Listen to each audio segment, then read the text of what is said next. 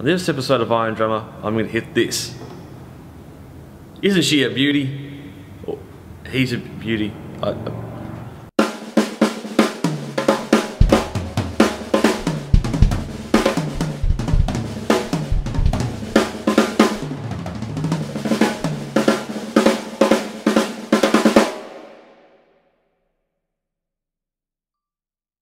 Bit of a special one today.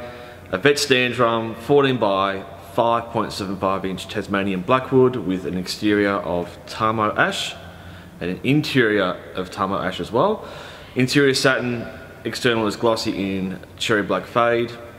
This snare drum was built um, to commemorate the birth of our firstborn son, Boston. So many years down the track, roughly about 17, he'll get this on his 21st birthday. But until then, I'm going to play it.